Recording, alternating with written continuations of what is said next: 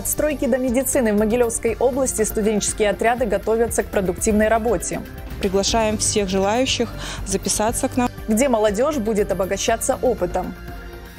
Паутина аферы «Виртуальные жулики» продолжают наживаться на белорусах. Высокая доходность, короткие сроки всегда связаны с большими рисками. Какие уловки используют? За круглым столом в Бобруйске прошло городское родительское собрание. Мы в ответе за наших детей. Что стало темой номер один? А также активный процесс, депозитный счет и по всей строгости. Удаленные СЦЭ будут пересдавать испытания в августе, куда смогут поступить нарушители.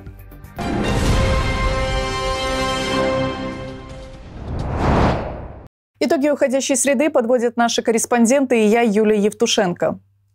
За ними будущее. В Бобруйске прошли юбилейные выборы кандидатов молодежного парламента. Выдвиженцы решительно настроены и готовы к бою. Кто претендует на место в пятом созыве и что представят самые молодые депутаты города, знает Юлия Вернер.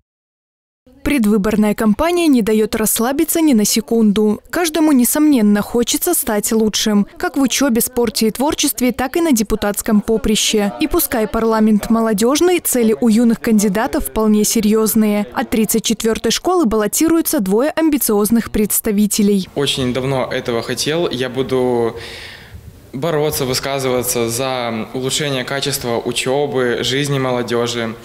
Э, буду выдвигать идеи для добавления разных кружков, секций, в которых каждый может проявить самого себя. Я представляю не только свои интересы, но и школьные интересы, поэтому как раз-таки я решила баллотироваться.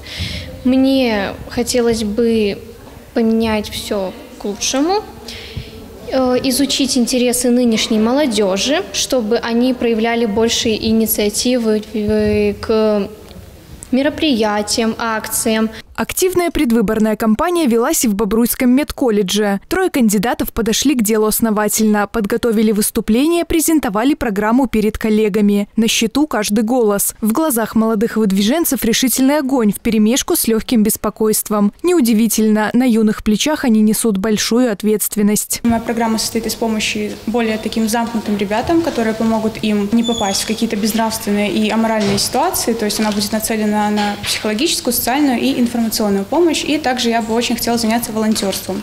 Помощь нуждающимся людям, например, ветеранам Великой Отечественной войны, инвалидам, людям с особенностями в развитии и также детям, находящимся в детском доме. Присуща победителю, наверное, креативность, ведь в любом случае это довольно тяжелое и ответственное занятие быть в молодежном парламенте.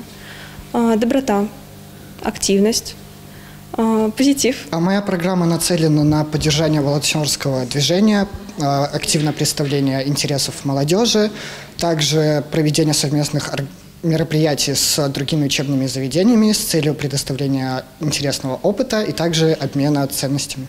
День поистине значимый. Пятый созыв обещает быть богатым на события. Всего изберут более 60 человек. 44 представителя молодежи и еще 22 члена назначит Президиум Бобруйского городского совета депутатов. Мы возлагаем большие надежды на новый созыв молодежного парламента. Ждем от них активной работы, инициативной работы. Ждем а, созидательных, конструктивных идей, новых замыслов, новых проектов – критерий один. Эти проекты должны работать на благо жителей нашего города, они должны способствовать развитию города, развитию молодежной инициативы, становлению молодого поколения в целом в нашем, в нашем городе.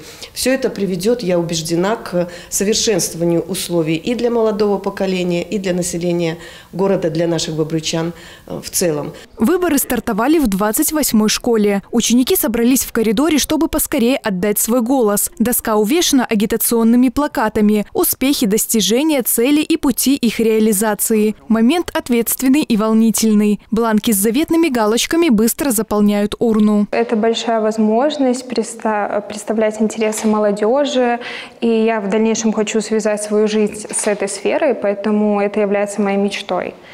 Хочется представлять на таком масштабном уровне всю молодежь. Конечно, волнуюсь, но я уверена почти на все сто процентов, что я выиграю. Процесс кипит и в Бобруйском технологическом колледже. Наблюдатели внимательно следят за ходом процедуры. Студенты стекаются в библиотеку, которая на один день стала пунктом, где вершится судьба будущих депутатов. Сегодня один из четырех выдвиженцев займет почетное место в молодежном парламенте. Очень волнительно. Я хотела бы, конечно, чтобы меня э, выбрали как участника. Автотранспортный колледж также активно включился в работу. Каждый хочет проголосовать за понравившегося кандидата. А они все как на подбор. Определиться с одним невозможно. Программа каждого – квинтэссенция креатива, интереса и новизны. Я баллотируюсь в молодежный парламент для того, чтобы улучшить свой город, сделать его более красивым и перспективным для молодежи. Проявил интерес э, в этом направлении, так как всегда я считаю то, что надо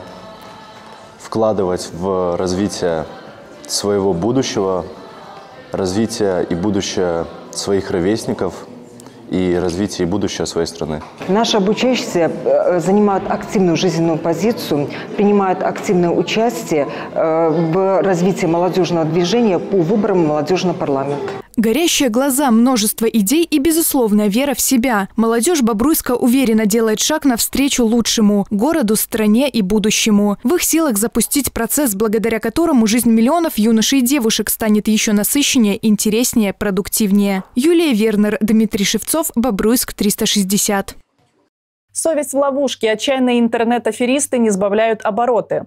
Только с начала года в стране зарегистрировано более трех тысяч мошеннических деяний. Из них более 400 преступления, совершенные под ложным статусом инвестирования. От имени «Газпрома», например, виртуальным жуликам удалось обвести вокруг пальца семерых белорусов. МВД рекомендует всегда проверять предложения о покупке акций компании в нескольких источниках, в том числе на официальных сайтах и по телефонам организаций. Никогда не переводить накопления на расчетные счета физических лиц или криптокошельки рынки. Помните, что высокая доходность, короткие сроки всегда связаны с большими рисками и гарантировать ее попросту невозможно. Если кто-то это делает, скорее всего, вы имеете дело с мошенниками. В уловках аферистов всегда задействованы несколько людей. Один ищет тех, кого могут заинтересовать биржевые сделки, другой изучает потребности, платежеспособность конкретного лица, третий через мессенджеры склоняет к вложению денег в якобы высокодоходный проект. Ответы на вопросы, комфортный отдых и аграрный график. В Беларуси продолжается сев сахарной свеклы и кукурузы. Сколько площадей займет сладкая культура? Громкие заголовки дня дали в специальном обзоре. В стране с начала апреля для многодетных семей открыто свыше 136 тысяч депозитных счетов по программе «Семейный капитал». С 1 января размер единовременного пособия чуть более 31 тысячи рублей. На досрочное распоряжение средствами было подано 83 тысячи заявлений на сумму 826 миллионов долларов. Такая форма господдержки, напомним, назначается при рождении третьего либо последующего ребенка. В Беларуси продолжается сев сахарной свеклы и кукурузы. В перспективе заполнить сладким корнеплодом около 100 тысяч гектаров площадей. Половина плана уже выполнена. В 2024-м отечественные аграрии планируют произвести не менее 5 миллионов тонн. Активное внимание уделяется и озимым. На полях проводят химобработку от сорняков. Удаленные с централизованного экзамена за нарушение правил его проведения будут пересдавать испытания в августе и смогут поступить только в колледж. В этом году, напомним, ЦЭ и ЦТ пройдут в единые сроки для всех. И для выпускников 2024 и для тех, кто окончил школу ранее. К слову, в мае учреждения образования республики выпустят более 55 тысяч одиннадцатиклассников. Республиканский профсоюзный правовой прием пройдет в Беларуси 18 апреля. Юристы проконсультируют всех желающих по вопросам, которые связаны с защитой трудовых прав и социально-экономических интересов. Для удобства предварительная запись. Вся информация о месте и времени находится на официальных сайтах областных, районных, городских объединений профсоюзов. Белорусские гостиницы могут одновременно вместить 38,5 тысяч туристов. На 1 января 2024 Синеокая насчитывает 600 отелей и аналогичных средств размещения. Они располагают всеми необходимыми удобствами. Места для работы в интернете, предоставление компьютерных услуг, экспресс-доставка корреспонденции, предлагаются помещения для переговоров, помощь секретарей и профессиональных переводчиков. Выбор в пользу труда. Активная деятельность студенческих отрядов продолжается. Более 6 тысяч инициативных ребят региона планируют обеспечить рабочим местом в студотрядах. Сформирован перечень организаций, которые включают более 200 нанимателей. Молодежь будет трудиться практически во всех отраслях народного хозяйства – строительстве, АПК, промышленности, медицине, образовании, пассажирских перевозок. Движение «Бубручан» с каждым годом вызывает ажиотаж. В течение третьего трудового семестра запланировано формирование более 80 студенческих отрядов для разных направлений деятельности на территории города – а также выездных сервисных, строительных и производственных отрядов. Приглашаем всех желающих записаться к нам в студенческие отряды, трудоустроим всех. Бойцами студотрядов по итогам прошлого года стали свыше 6 тысяч человек из Могилевской области. Одно из самых масштабных и созидательных направлений БРСМ объединяет более 40 тысяч молодых людей по всей стране. Для юношей и девушек это не только возможность заработать свои первые деньги, но и получить бесценный опыт, встретить новых друзей-единомышленников. 17 апреля в стране отмечают День чествования ветеранов органов и подразделений по чрезвычайным ситуациям. Это люди, которые посвятили себя служению родной стране во имя спасения других. Положительный имидж Министерства по чрезвычайным ситуациям не сложился сам по себе. Его создали реальные люди, которые своим ежедневным героическим трудом стремятся сделать жизнь нашего общества безопасной, оставаясь по-прежнему в строю. Вы стояли у истоков этой службы, вы заложили фундамент этой службы.